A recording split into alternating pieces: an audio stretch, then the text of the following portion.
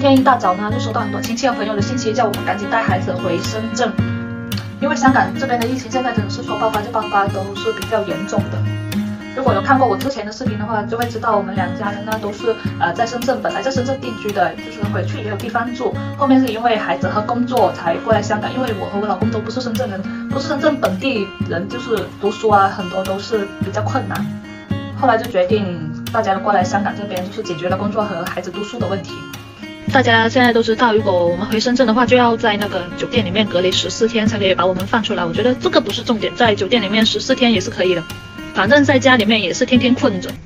不是我们不想回去，我也想回去啊。深圳的家还大一些，住得更舒服一些。只不过是因为我还有一个二宝比较小，嗯，也要去健康院打预防针啊，然后还有很多问题哦。我自己一个人带两个孩子回去的话，也是很不方便。哎，不是说路程很不方便，而是嗯，我回到深圳的话，嗯，深圳那边也没有什么亲戚在，我自己一个人带两个孩子，真的出去买个菜也是比较困难。而且我的二宝还在喝奶粉，我要是回酒店隔离十四天的话，我一个人只可以带两罐奶粉，然后出来的奶粉也不够了。现在找人帮我们带奶粉回深圳也是比较困难。